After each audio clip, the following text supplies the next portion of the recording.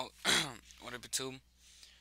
I'm gonna show you guys how to fix limited connection or no networks found Wi-Fi problem thing.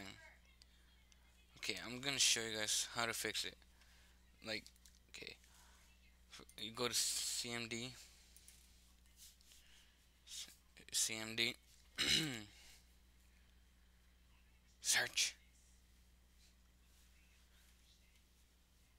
Okay, it should open. Okay, now you put IP config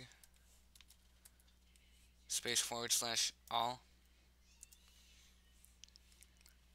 Then IP config space forward slash release.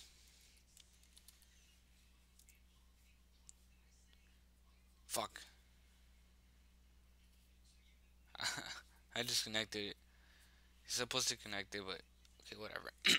That's what you put. Now you put IP config space forward slash renew.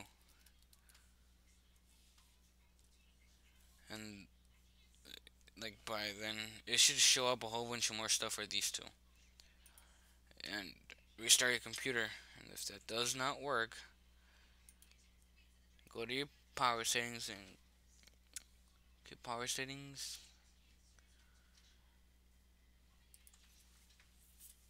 I should go here. Then change plan settings. Wait. Yeah, for the one you have. Alrighty. Change there, whatever it was. Scroll down. Wireless adapter settings put it on maximum performance. So yes. Yes, yes.